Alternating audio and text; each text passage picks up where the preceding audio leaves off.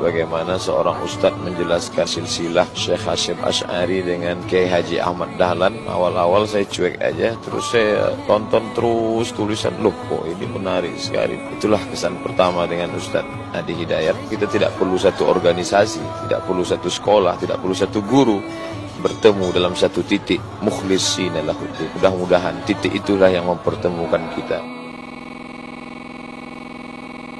Kenapa Kiai Haji Hashim Ash'ari mendirikan NU 31 Januari 1926? Karena merasa ketika Muhammadiyah sudah tampil, ya, sudah tampil 14 tahun sebelumnya, itu beliau melihat di NU itu nggak muncul-muncul ulamanya. Ash'ari dengan pendiri Muhammadiyah, Muhammad Darwish, itu satu keluarga, satu saudara yang sama, bahkan ngajinya sama-sama, itu di Semarang, di Kiai Haji Soleh Darat. Ya. Dia ada tiga orang, Muhammad Darwish, kemudian Hasim Ash'ari, satu lagi itu kakek buyutnya Cak Nun, MH Ainun Najib. Cuma dua ini yang menonjol karena menonjol bagus baca kitabnya, soleh orangnya, itu langsung diperintahkan pergi ke Mekah diberikan kitab. Ya. Kalau kakek buyutnya Emma Hainun Najib itu cuma diberikan cincin pada saat itu. Ya. Saat berangkat ke Mekah berguru di guru yang sama, namanya Syekh Ahmad Khatib dari Sambas. Dikenal dengan Syekh Ahmad Khatib As-Sambasi. Nah setelah dilihat-lihat sampai kembali ke Nusantara di masa yang sama, itu masya Allah.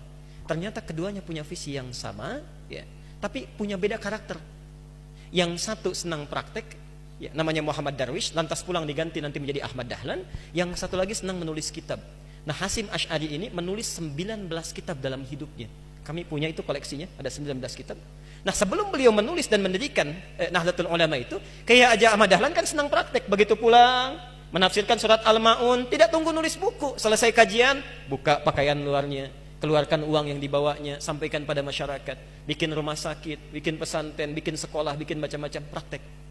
Hashim Ash'ari mulai menulis. Saat meninggal Kiai Ahmad Dahlan 1924 difikirkan oleh beliau.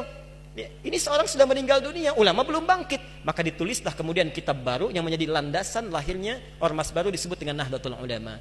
Yang ingin saya sampaikan, kedua-duanya ini ternyata satu garis nasab yang sama. Bertemu di Maulana Ishaq. Jadi kalau kita urutkan, maaf, Muhammad Hashim Al-Ash'ari bin Abdul Wahid. Bukan Kang Wahid yang ini ya. Itu ada gunawannya, ini lain. Bin Abdul Wahid bin Abdul Halim. Abdul Halim itu nama aslinya Pangeran Benawa, dikenal dengan Sultan Hadiwijaya, nama lainnya Joko Tingkir. Bin Abdullah bin Abdul Fattah bin Abdurrahman. Abdurrahman ini anaknya Sunan Giri, bukan Giri yang ini tapi. Ya.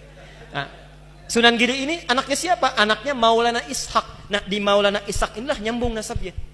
Kiai Haji Ahmad Dahlan bin Kiai Haji Abu Bakar bin Kiai Haji Sulaiman bin Kiai Murtado bin Demang Jurang Juru Kapindo bin Demang Jurang Juru Sapisan bin Kiai Gerbek bin Maulana Ishak.